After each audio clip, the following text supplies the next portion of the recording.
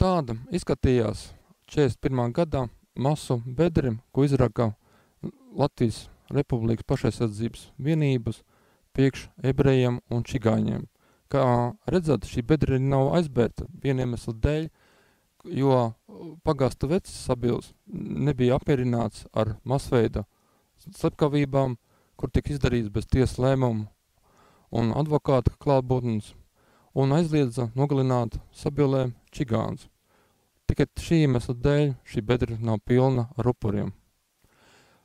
Kā jūs saprotat, Latvijas Republikas okupētās Vācijas pašaizsardzības vienības nogalināja ebrejus ļoti ātri pēc okupācijas sākšanas, nesagaidot 43. gadā Himmlera un Gēringa rīkojumu par galīgo jautājumu atrisināšanu saistībā ar ebrejiem.